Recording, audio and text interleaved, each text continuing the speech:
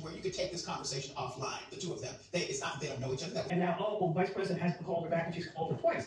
What are they saying? You know, it's, As we talk about the, the big narrative right now, a quote from it really quickly here, forgive me, I buried my quote. to abandon their faith or deeply held beliefs, to agree, the government. Kelly, you wrote a piece recently in which you talked about, as you watched her there, the extent to which her voice has been turned down, muted, minimized uh, in recent months. and we will not be denied. It is non-negotiable. That had never occurred to me. Why might she be muting herself? I written about four or five pieces prior to her getting this job about how powerful